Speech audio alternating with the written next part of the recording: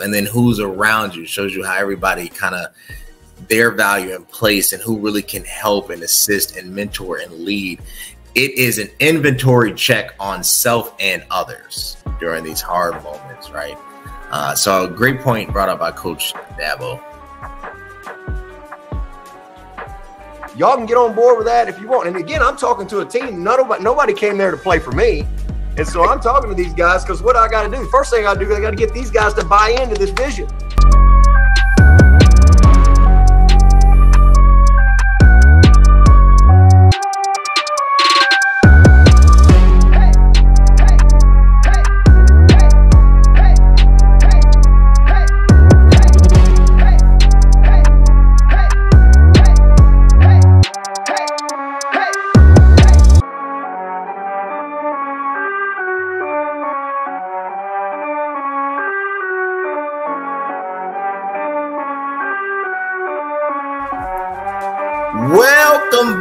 To the CVMK show. I'm your host, Cody Kelly, Mr. CVMK33 himself. Look, to be a leader, to be an entrepreneur, to do anything, whether it's a ministry, pastoralship, there are certain universal truths that is non-negotiable. When it comes to establishing a winning culture, you need to learn from those who have won there's an old ancient African proverb that says, Never let a naked man sell you clothes. And that's true. You want to win, you got to be around winners. So I stumbled upon this podcast. Shout out to A, B, and Chad, and they sent it to me, and I want to review it, take some things, critique it, throw my own sauce on it, and own spin, and uh, see if Dabo Swinney is really telling the truth. Stay tuned for another episode Uh, of CVMK show because it is what it is. There's a hero in all of us waiting to be unleashed.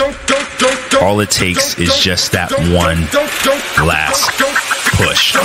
Activate the hero within with CVMK Global Supplements. All natural, steroid free, designed to enhance performance, build muscle, and increase energy. You are unstoppable. You can do this. Become your own hero at www.cvmkglobal.store. Check out www.cvmkglobal.store. Get your protein transform, BCA saucy pre workout, either superpower or warrior thirst transform. Use the code CVMK for 15% off. Look, Dabo Swinney is a winner. The head coach of the Clemson uh, football team in South Carolina. He wins. But he was on a podcast on the Ed Mylett show, and he had some very interesting things to say. And I want to break them down for you. And we're going to go bit by bit on what it takes to be a winning, to be a winner and changing the culture of a football team and really an organization as a whole. Also, hit the notification button, like, share, comment, subscribe Change the algorithm. YouTube at CVMK, Instagram CVMK33, CVMK underscore global. It is what it is underscore show. Let's get into it. History of Jay's. If your job's to go get the coffee, man, you bring the best coffee that anybody's ever. You get that coffee, man. Everybody's going, man, did you get that coffee? This guy's unbelievable. All right. All right, let's pause there. If it is your job to get the coffee, get the coffee, right? Be the best coffee getter there is. Uh, exhaust and fully invest and commit yourself to the smallest task, and the simple things of life will become noticed. Dabo goes on a quote, George Washington Carver says, If you could do the common things uncommonly well, the world will take notice. And I think that is fair. Um, you know, I, you have to take every part of the process as something precious, as something unique, as something interdisciplinary, as a way to build you for the better, even when it seems a bit beneath you. I think it's easy, particularly as you age and as you achieve, to think that you have outgrown certain things or certain steps.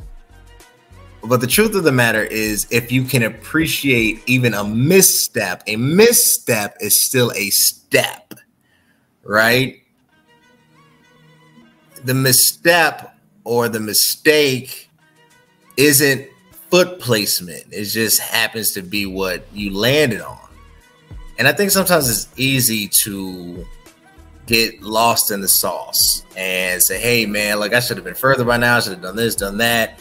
And, you know, I just, uh, just this, I don't agree. This is confusing.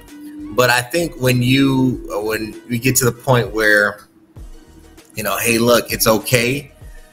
Every part of my task, every part of my job, even the most monotonous things, I'm going to give 110% because it speaks of who I am. Even when they don't go noticed, they will always be impactful. So I want to do that. There's a few things he brought up, skim through it. Oh, bogus commercial. Let's see if we can get through this. If I came into your service based business and booked 11,000 appointments on your sales, I know if I'd ever get a chance to be a head coach, but I was just, I love what I do. I love what I was doing. I love my, I mean, I just trying to be the best at whatever it was. But I started kind of building a book, started putting a, a, a head coach book together in 19, I mean, literally right out of the gate. Things I liked, things I didn't like, uh, you know, uh, academic stuff, uh, philosophy of offense, philosophy of defense, philosophy of recruiting, philosophy of special teams, you know, who I would want to hire, you know, what would be my staff expectations, you know, whatever, how I would run practice, you know, and I started putting all this, just building this all over the years. And all through the years, I, oh man, I like that. Throw it in the book. Mm-hmm. Or, you know, a lot of times, so I coached eight years at Alabama when I finished playing. I played five, coached eight. And a lot of times we learn more from the bad than we do the good. I want to pause there.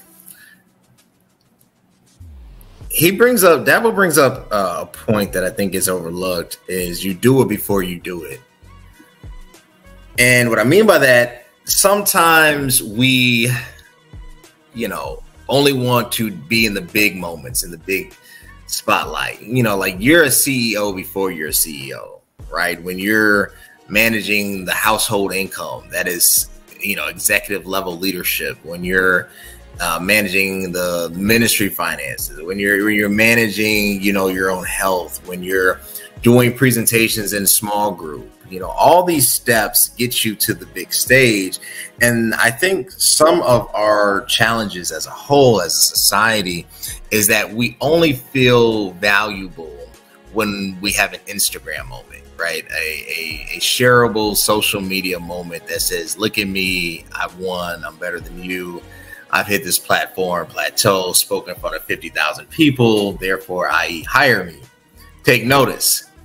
But Dabo had his whole coaching philosophy, Coach Dabo, excuse me, had his own coaching philosophy uh, already implemented while he was just an assistant at Alabama, right? He was a walk on, uh, played five years, you know, obviously didn't go above that. He wasn't this stellar, you know, athlete, but he took the things that he was passionate about and he allowed purpose to intertwine with passion and consistency brought about the vision right? So he talks about learning from losing or from these hard moments because we we, we like to skip the process. We like to skip the hard moments. We like to think that it doesn't matter uh, it doesn't count uh, you know there's no true greatness in it. But i think that the hard moments are the most defining moments uh, because the hard moments shows you who you are as an individual and then who's around you shows you how everybody kind of their value and place and who really can help and assist and mentor and lead. It is an inventory check on self and others during these hard moments right? Uh, so great point brought up by coach dabo Y'all can get on board with that if you want. And again, I'm talking to a team. Nobody, nobody came there to play for me. And so I'm talking to these guys because what I got to do, first thing I do, I got to get these guys to buy into this vision. So here's how we're going to do it. We're going to do the common things and uncommon. You know what that is? man, how we clean that locker room. Here's how. And see, I like that. So if you listen to the story, watch podcast. Shout out to the MLS show. Um, listen to the whole podcast. He talks about you know he took over from a coach that was already in place when he became um, uh, the full senior coach, full head coach at Clemson. And he, when he was hired, they called him a D plus uh, hire, right? Like, you know, this is just somebody extra. He's a good character, you know, guy, good character person. Uh, no long term vision or play for him, but he just stayed the course, stayed the course, stayed the course. And when the job was offered to him, everybody that was there in the program came for the other coach. So, you know, when you come into a situation where you have little to no influence, your job is to communicate a vision and to get others to buy in. So first you have to communicate it.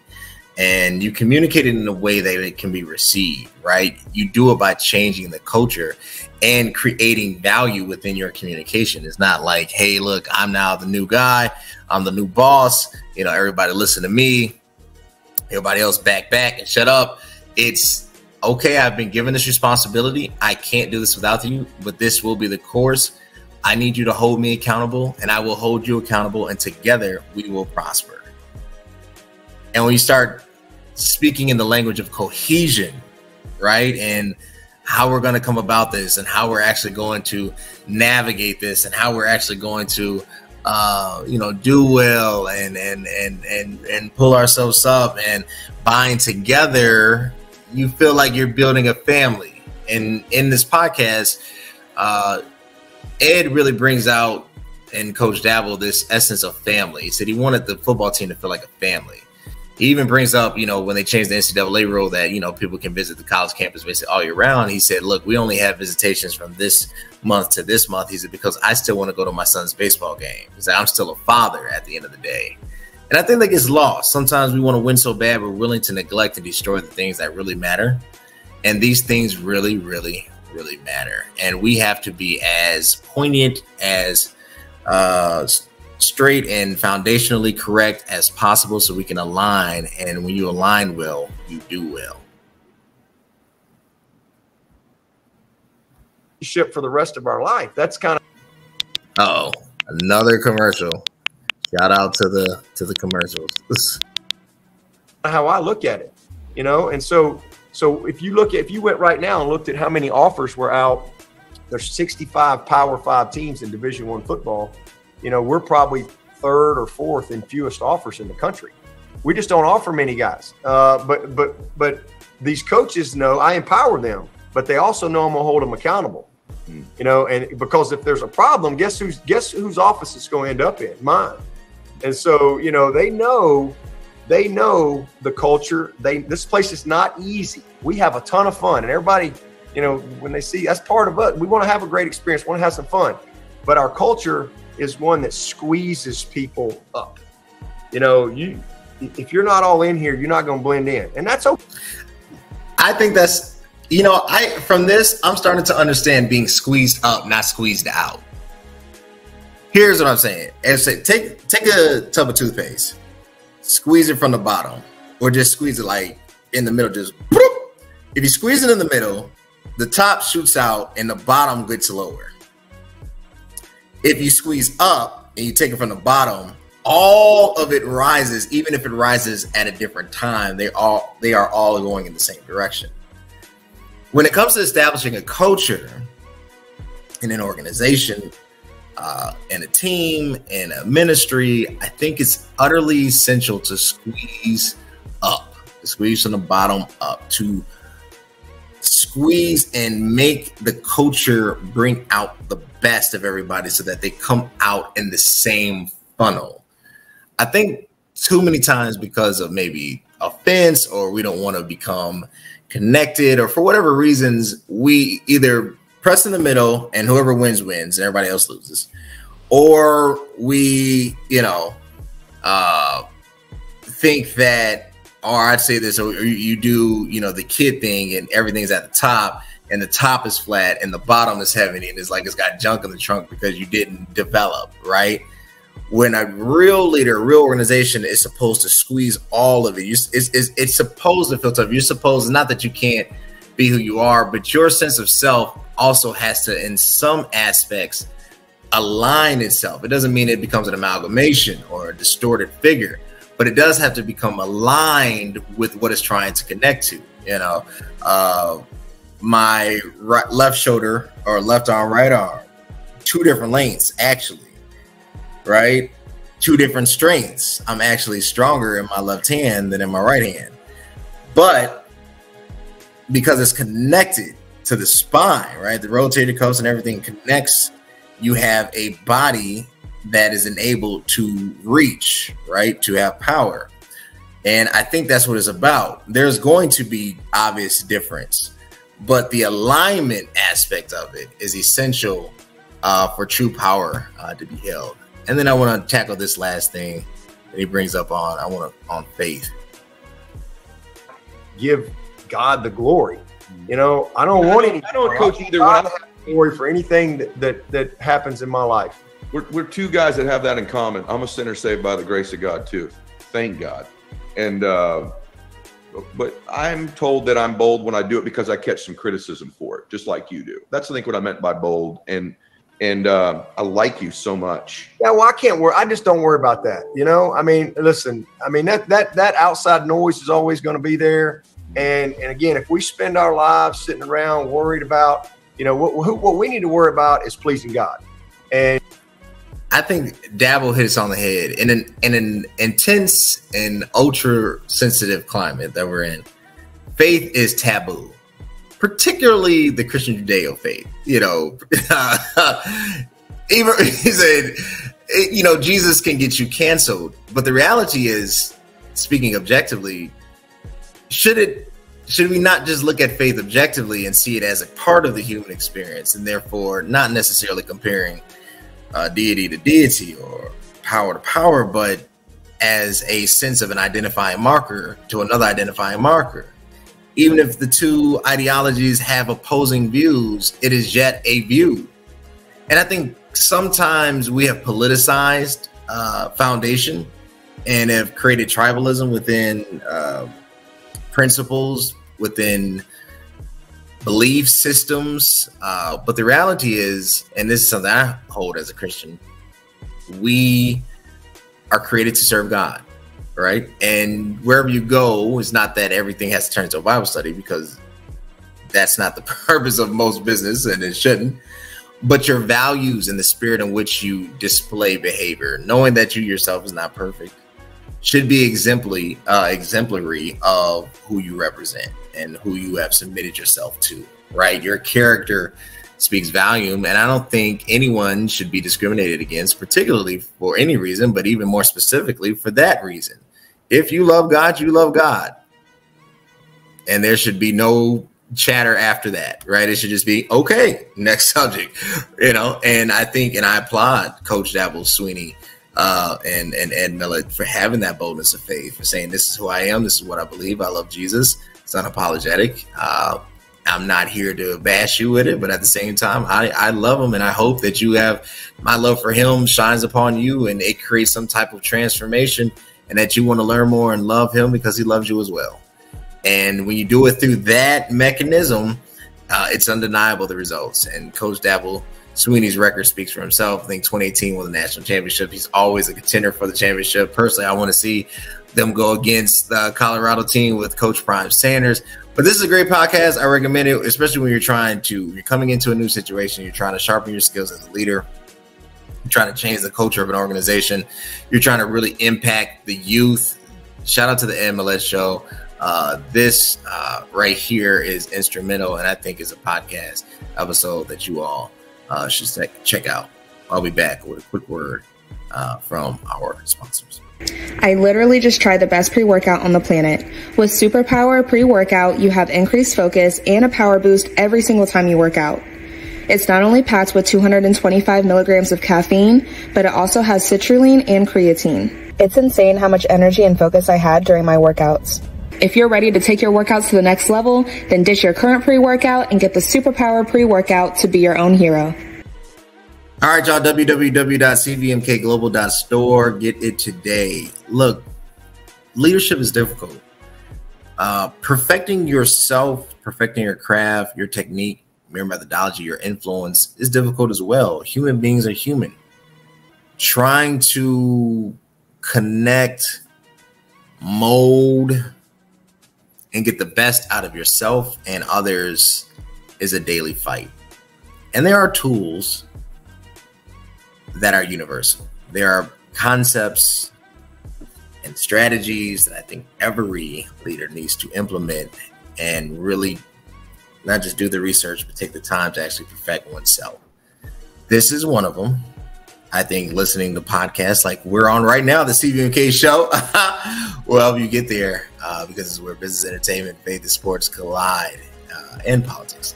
Uh, but also just listening to other stories. The Bible says that we are overcome by the words of their testimonies. Or, in other words, we get through life and we win by listening to others and how they did it, right? Like words, communication, storytelling, it has power.